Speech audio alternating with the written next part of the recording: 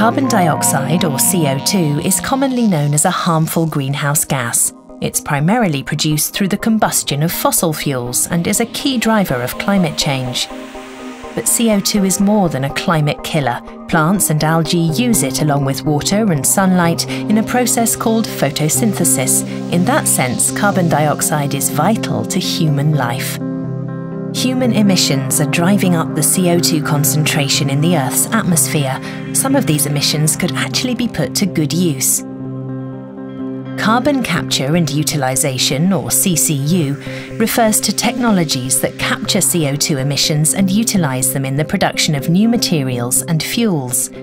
CCU technologies might reduce the utilization of fossil raw materials and improve the CO2 balance of everyday products. These innovative technologies imitate the natural carbon cycle and are the subject of intense scientific interest. Carbon dioxide can be captured from flue gases emitted by power plants and industrial facilities.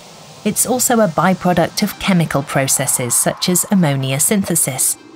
In the future, carbon dioxide might even be recovered from the atmosphere in a process known as air capture. Carbon dioxide captured in this way can be used in the production of construction and insulation materials, and in foam products used in mattresses, for example. CO2 can also be used to produce synthetic fuels such as diesel, methanol, and synthetic natural gas. Here, fossil raw materials are substituted with carbon dioxide. CCU technologies are one step on the way towards a circular economy and can contribute to climate protection. The extent of this contribution will depend on how long CO2 can be stored in CCU products and the energy demands during their production. The use of renewable energies will be critical for a positive environmental effect. CCU alone cannot resolve the challenge of climate change.